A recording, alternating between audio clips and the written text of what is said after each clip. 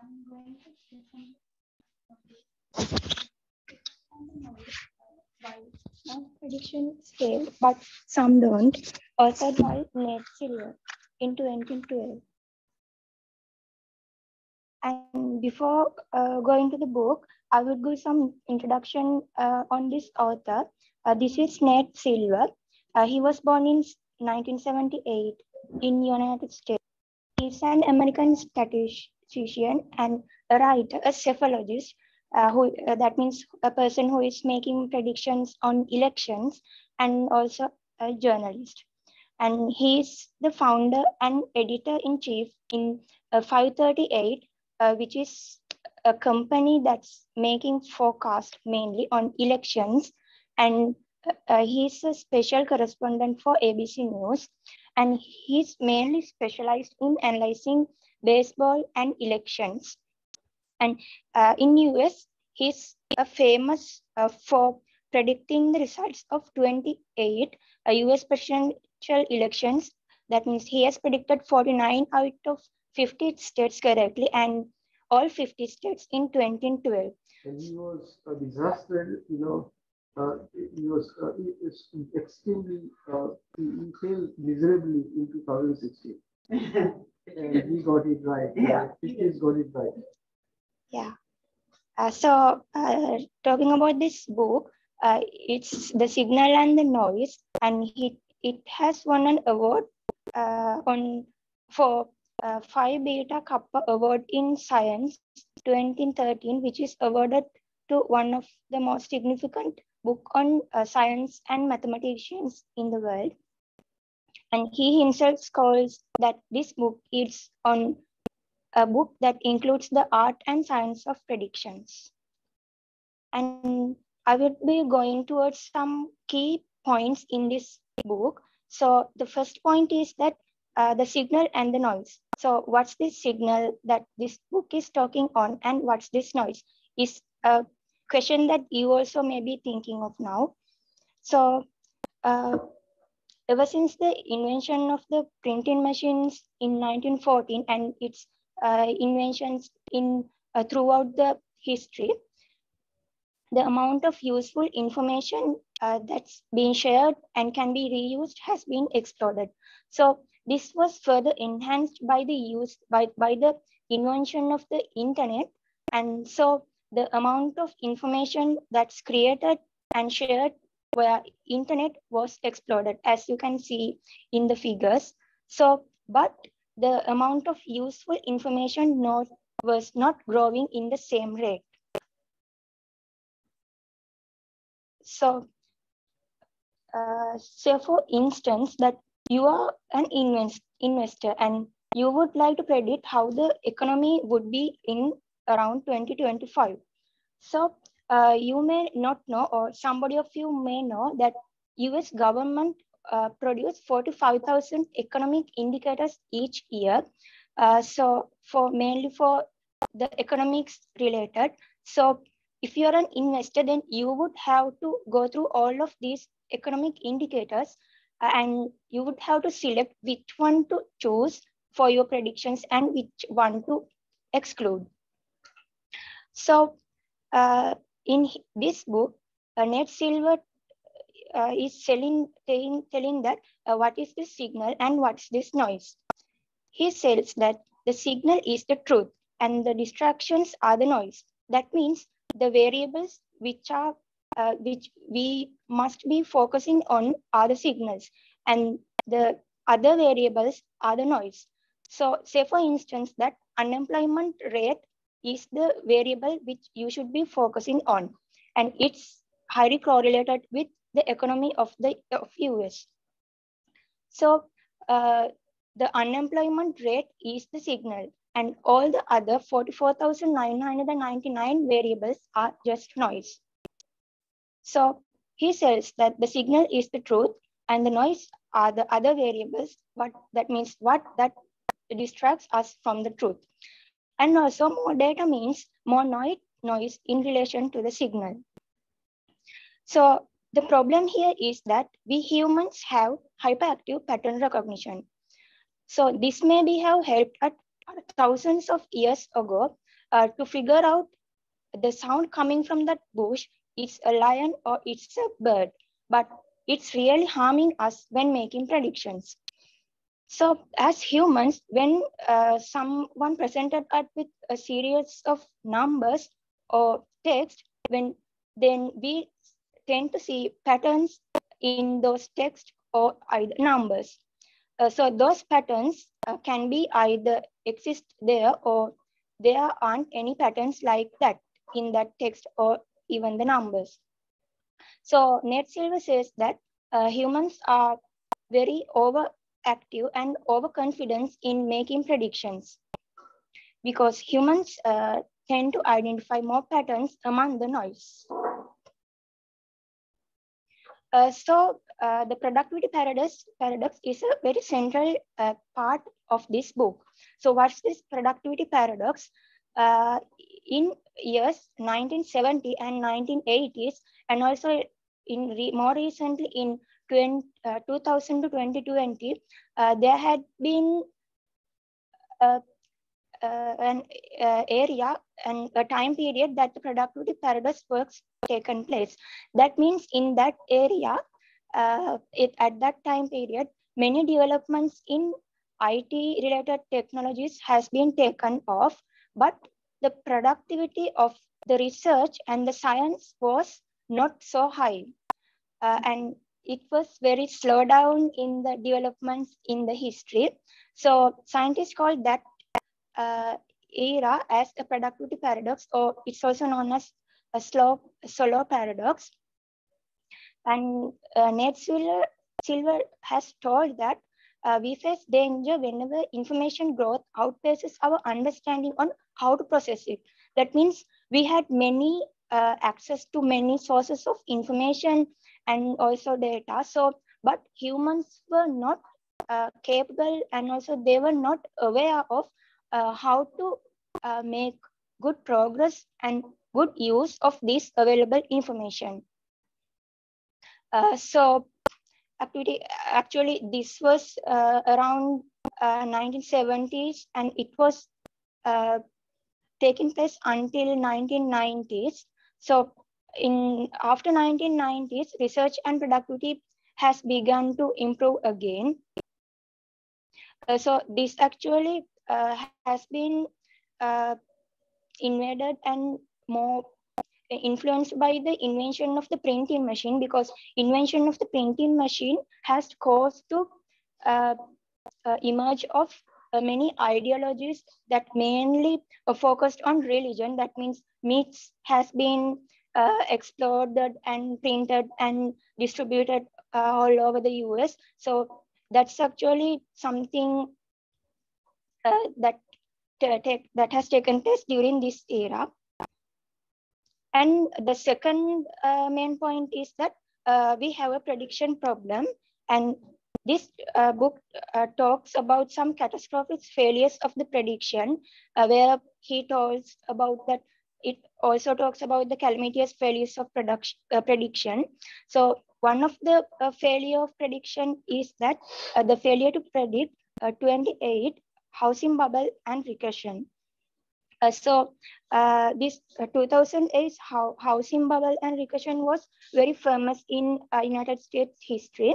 Uh, so many people has involved in predicting uh, housing bubble and what could happen in that, that area and how to mitigate from the risk. But actually no one has able to successfully predict this recession. And one instance is that uh, Standard and Poor is a very famous uh, forecasting company in US. So it has tried to uh, predict this and uh, they were actually failed to uh, predict it uh, very clearly because this is some instant of where they have tried to predict the forecast of the the amount of houses that will uh, led to default. That means uh, actually this is more related to economics. That means if someone was unable to pay their house rents, then uh, the, that house will lead to default. That means uh, it will the, the ownership of the house will be uh, directed to a third party, uh, which is called as a uh, collateralized debt obligations. Uh, so the amount of uh, houses that was uh, led to default was the forecasted amount was only a 0.12%, but actually 28% of the houses were led to default. So it's a major failure. So secondly, the rise of temperature is also another thing that the forecasters tried to predict. So in 1990, IPCC, which is the International uh, Panel of Climate Change, forecasted that the rise of temperature uh, would most likely to be 3% per century, and it uh, and at least not less than 2%. But in 2012, at the time of releasing this book, it, it was only on only just uh, 1.5 degrees Celsius. And also, uh, many forecasters tried to predict the GDP forecast. Uh, they predicted that uh, they have done it up to 18 years from 28, 2010 to 1993 as shown in this figure.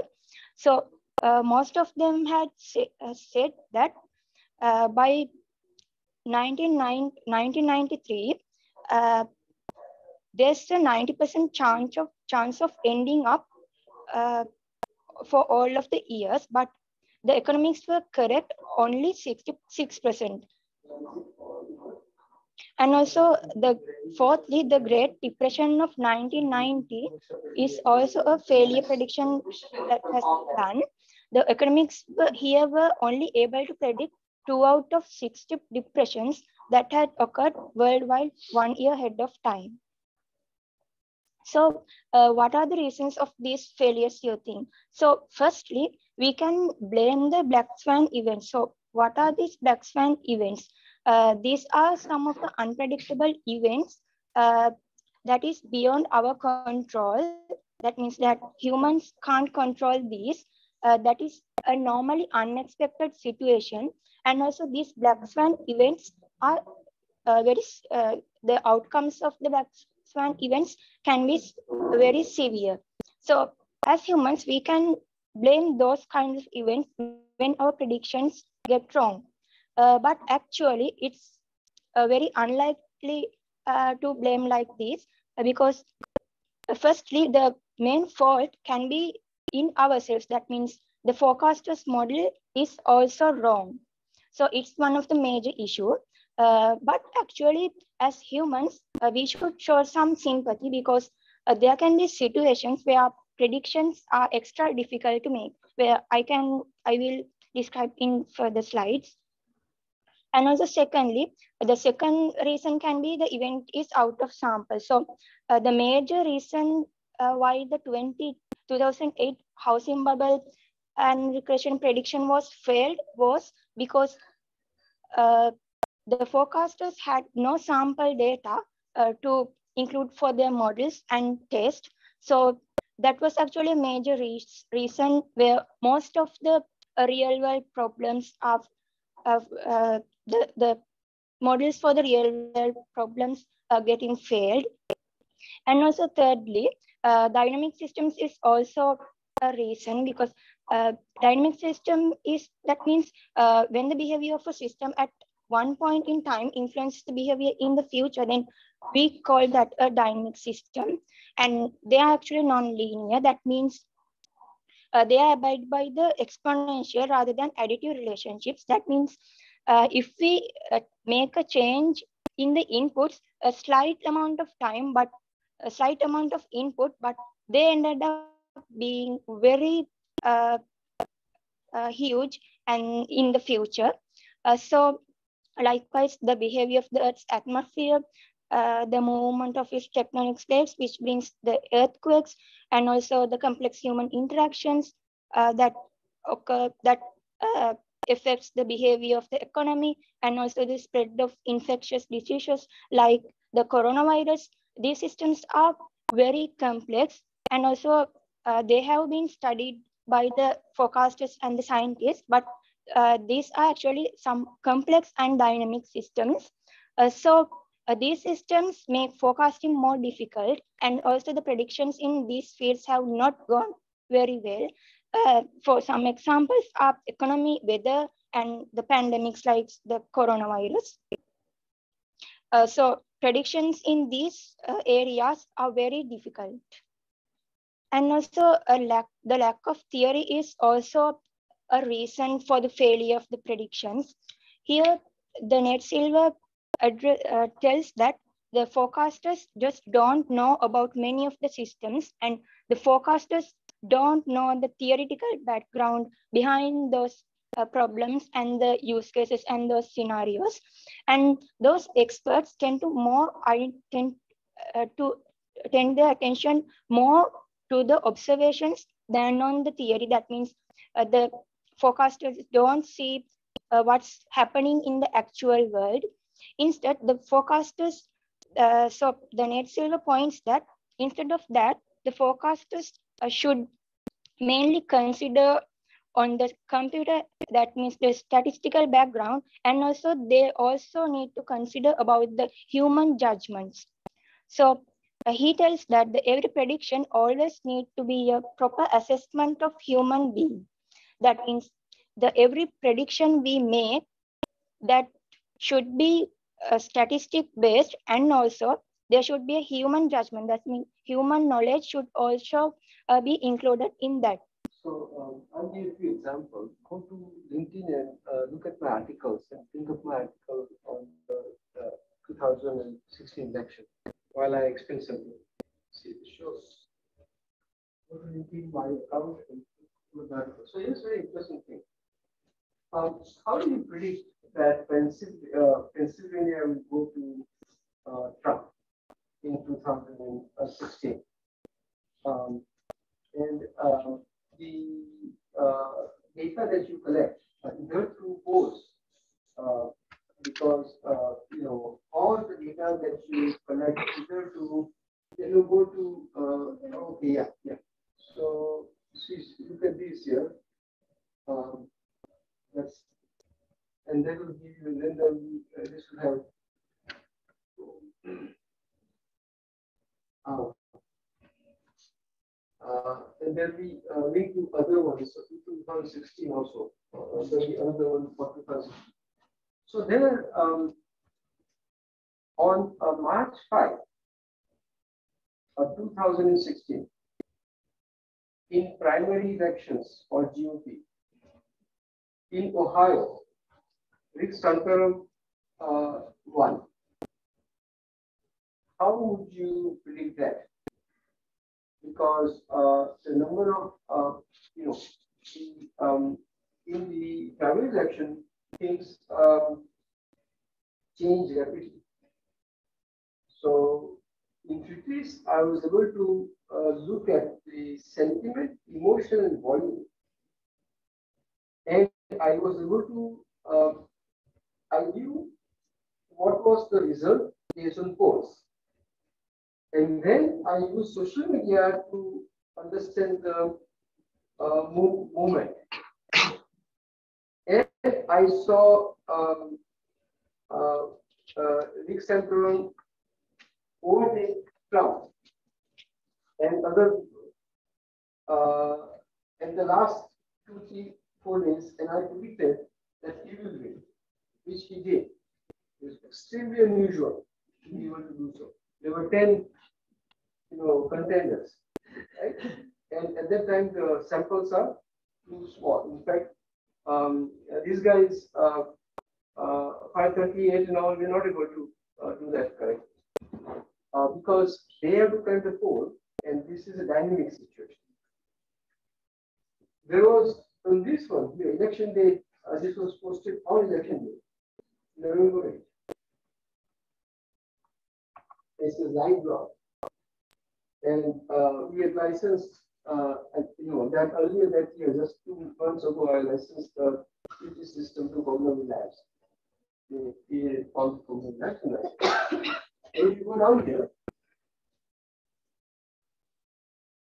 see at uh, 130, going against the flow, which is dangerous at 1 p.m., Florida was not looking positive for Hillary Clinton, volume, emotion, flavoring, Trump, sentiment, feeling.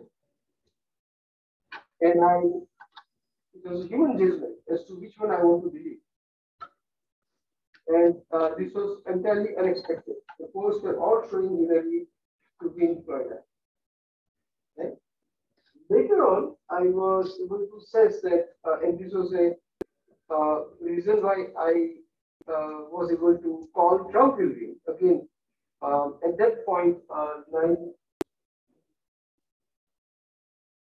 uh, some very large percentage of the um, um, I think there was a 70% or some higher percent, uh, that kind of high percentage that Hillary will win when I called for Trump. And what I saw was um, uh, Pennsylvania, and this was a thing about years. Uh, and that uh, I saw the uh, support for Trump in the rural Pennsylvania versus Democratic support in the uh, urban uh, Pennsylvania. And based on that, I said Pennsylvania will go for Trump. And that, uh, that gave me uh, a sense that um, uh, uh, Trump will win the electoral uh, you know, thing and not Hillary Clinton. So there was, uh, so there's a lot of yeah, millions of tweets that we could analyze. But the context, human interpretation is very important. So the point that he makes is that these are issues that are not solved uh, fully by uh, statistics or uh, polling or what, you know other things. You need to have a judgment. Similarly, in 2014 election, when Modi won, you know, uh, the uh, particularly the um, you know, predicting the um, the degree of need, okay, was also uh, something where um, there are 545 um, seats in, in, in Parliament, uh, Lok Sabha, and uh, well, many seats are won by one or two percent. And that uh, boundaries are such that it is very hard to say that this tweet is from this constitution versus that. Right? So uh, all those make for a very challenging issue where human knowledge of uh, the electoral system, the uh, you know uh, general margins, the um, uh, multi-way uh, party and multiple parties. So winning you know margins are small. The, so many other things have to be factored in before you can make those calls, and that is how we are able to uh, you know make these calls. Right. So I had um, for uh, eight years I had um, uh, 100% you know uh, success rate, and uh, that was you know again not purely so. Um, I think this is very less data compared to any other social media, and one of the main reasons was semantic filter. In that um, you know all the social media, there was a social media, uh, um, um, you know, um, the, the biggest social media company in that time uh, had um, not the social media platform, but the uh, you know companies like uh, uh, the one that Manas worked for us, uh, you know, in the yeah. huh? Data. Data. Uh, they were then and other companies were extremely wrong, way wrong, while I was crying. And um, the big problem was that they had too much noise. They didn't my keyboard.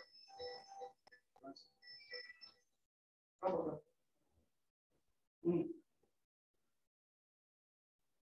Okay. Is there anything in this that surprises you? In this book? Uh, Um, actually, he explains the reasons for the failures and what Are we can do. Yeah, You're surprised by this failure?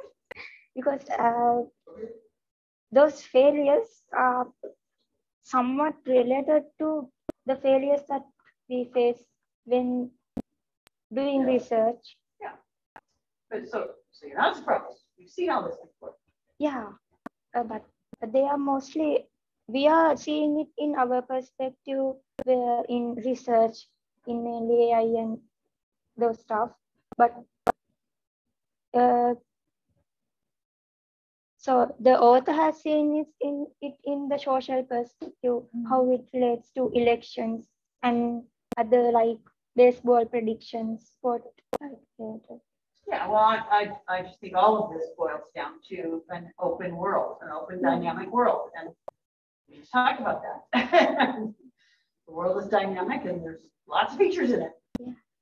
And the models are flawed. Um, on the, on 2008 market crash, um, there's a great movie, which if, if you want to amuse yourself with something that's intellectually um, appropriate, it's called The Big Short. Yeah. The Big Short. And, and, you know, what I object to is the implication that you were just, you know, from book, that this was not knowable. This was one hundred percent knowable. There were people that absolutely foresaw the two thousand eight housing market crash. And it's a little bit surprising. When, when did Short come out? About the same time as this book came out, I guess. So it's very, very, very good. Um, I, I, I'm not a fan of this mapping of signal and noise. This is very confusing. So how do you, you guys think about the use of the word signal and noise here compared to the way you guys usually think about signal to noise ratio? What do you think about that? Is that, does that fit? Yeah. It's totally different and it's very, it's, it's very confusing to me. I, I, I don't think about it that way. I know what it is. You don't need to explain to me. As I looked at that, I thought, I didn't tell you guys about signal detection theory, which I could have, uh, but, um, So just here is something that I would say, which is um, not just a theory and science, but from practice. It's such a long time that um, so many uh, companies, 100, 200, 300 million of investments have not figured out the value of uh, semantic filtering or uh, beyond uh, keywords.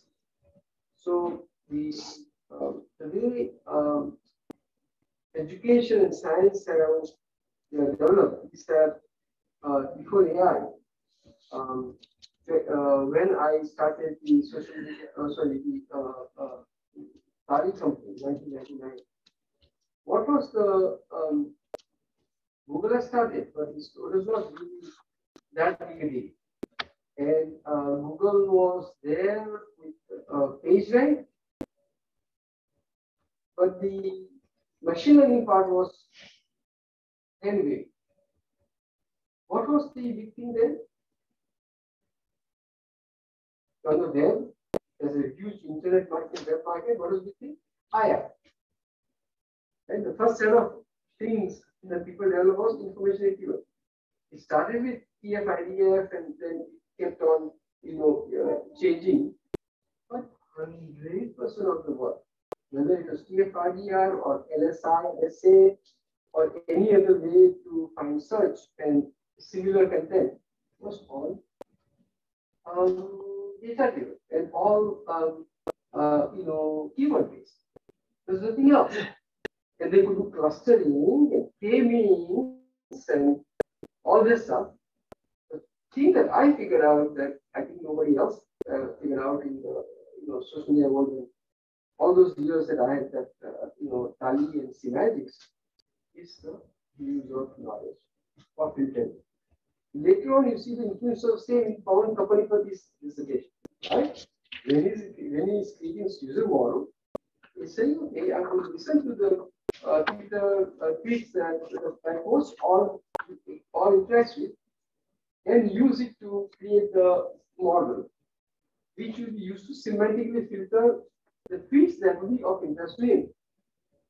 Of uh, suppose a person is uh, you know is following other people on on Twitter, uh, and each of them posts makes one post. Are thousand posts, and you don't have time to see thousand posts when you get up. So how are you going to get the top ten or twenty? You have to rank them, right? creating, understanding the interest of the user and ranking them would be very important.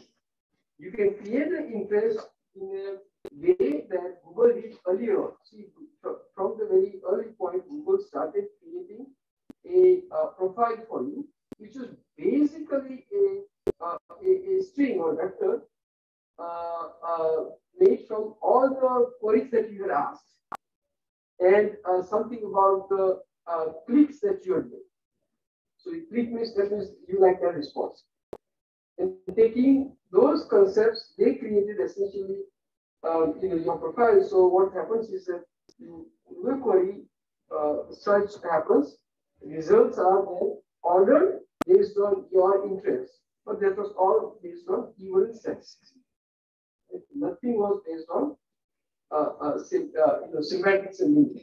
And they would not have the ability to understand exactly that car and automobiles are pretty much the same. They would have statistical, uh, you know, uh, you know, indication in the uh, algorithm that cars and if you use LSI, cars and road will come out, you know, uh, close. The cosine will be one. But uh, you would not know that they are the same, that they, mean the same, right? That is that we, we, we figure out. That is in the pattern. If you see that semantic web, uh, you know, uh, that is what. The, the interesting is that I was with my company uh, till 2006. Then I moved uh, to um, Wright State and I was not associated with the company anymore. For that six, seven years, not a single company in the market went It took that long time. So uh, similarly, uh, knowledge graph or, or world model is something we use uh, in our commercial protocols already in 2000.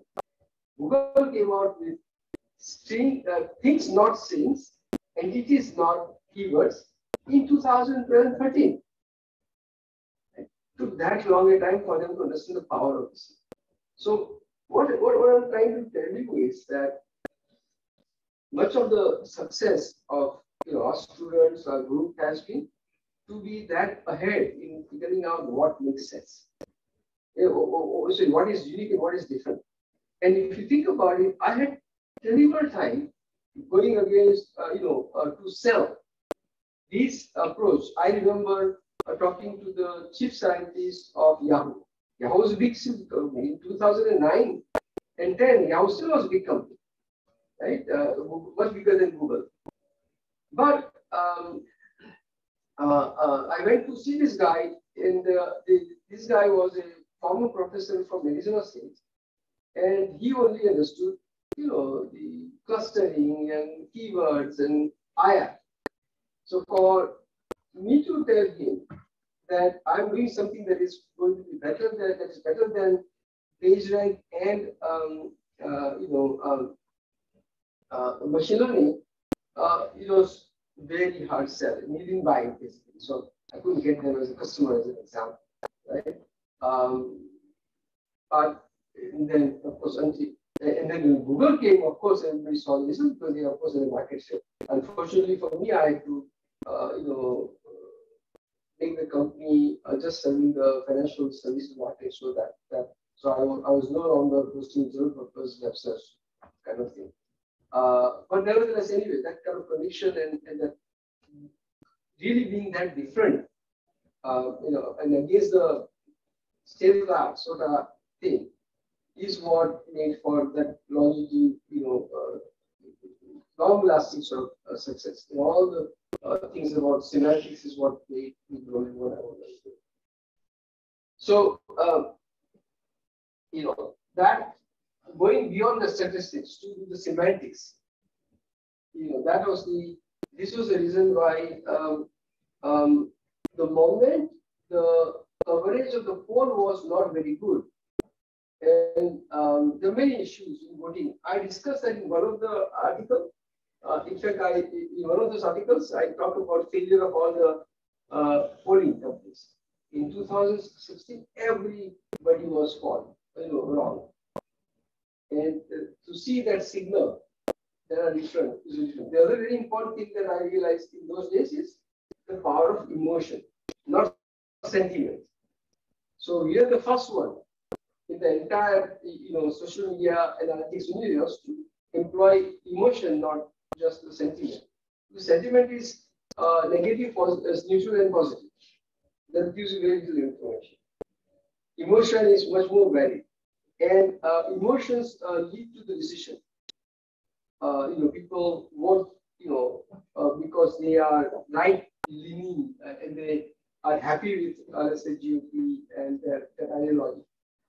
They don't uh, you know, so sentiment of the tweet says very little. And the other very important thing was sentiment about what?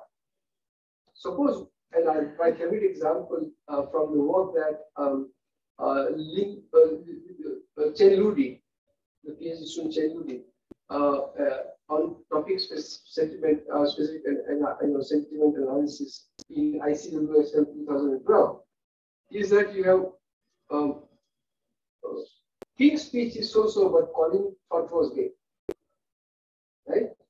Now, what is the sentiment on the street? If you compute sentiment of the tweet as well, you got it wrong. You have to say there's an entity called King's speech which happens to be movie, there's an entity named Colin Firth, uh, who is an actor. Neutral sentiment on, uh, you know, uh, movie, positive sentiment on Collins Right? That was, so we uh, filed for patent. Unfortunately, Lu had submitted the paper for submission, even though we withdrew, patent officer found out that that was submitted. So on that ground, we uh, declined giving us a patent second patent. We did get the patent for the work that Nina and uh, Kat studied with me on spatio-temporal thematics. But sentiment, emotion, intent analysis, we had this uh, topic center, we had filed for patent on this uh, thing um, that was denied. Then we published in ICT But um, uh, so again, you know, thinking about uh, sentiment, sorry, uh, uh, spatio-temporal thematic people content network. That was the emphasis of uh, Hemant's work. And sentiment, emotion analysis was the uh, thing was emotion was uh, very important, and uh, sentiment was uh, and subjectivity was uh, all changed. Right? Yeah. Exactly. So these things, uh, spatial temporal thematic, people content network, sentiment, emotion, uh, intent, real-time analysis of tweets, that was again totally different right? And nobody else did these many ways of looking at, um, you know, uh, a content. There are so many different facets or features. But the thing that I'm um, excited about is that each of the features that I told you, I can explain to you. The feature of sentiment emotion, as opposed to these 100,000, uh, you know, million parameters or large number of features that you don't know what they stand for. Right? So, um, uh, my hope would be that one of you will think critically. Were all these, you know, um, uh, deep learning, um, multi-dimensional vector space. Is it possible to aggregate them into meaningful chunks that, that uh, semantic uh, represent that you can use and explain, that will make a big difference, not the way, you know, uh, and, you know, so think along that line and see how you can add, right? And most don't, don't just go with the, the herd. The, the herd was going with keyword analysis. They had massive platforms and they do all these things uh, a lot of people can do a little bit of real, it's over real time. We did a lot of engineering, a lot of engineering. But the semantics, you are able to take, you know, uh, knowledge from Wikipedia and incorporate. So suppose you say Hallmark. Hallmark is a, there are three companies with the title Hallmark. Three companies. Which Hallmark? And if you can't distinguish the three, that means you can never say what are you talking about. If you have Hallmark cards and you have Hallmark, you know, uh, something else and Hallmark to be else, uh, and then you aggregate tweets for all of them and you realize they, they will give you yes. Right? You guys have class, don't you? Yeah. Okay. Yeah. So, Chathurangi, how much do you have left? About 10 slides. I can finish it by 10 minutes. Well, Why don't you take it up in the, Take it No, it's, it's very old. Very, Yeah, Thursday. yeah. Looking at the, Yes, they have, you know, but, yeah. Marco.